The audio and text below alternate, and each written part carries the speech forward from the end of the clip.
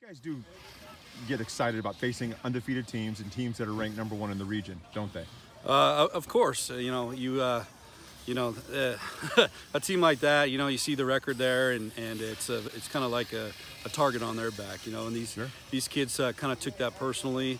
Uh, we've been kind of flying under the radar a little bit, and I think you know they kind of wanted to make a little bit of a statement. I mean, I know it's a league game, and you want to win all your league games, of course. But how how, how big was that, giving them that first step back? I mean, it was pretty good. You know, I have confidence in my whole team, so being the starting pitcher and all of them looking our team, my coaches, I mean, it is pretty big.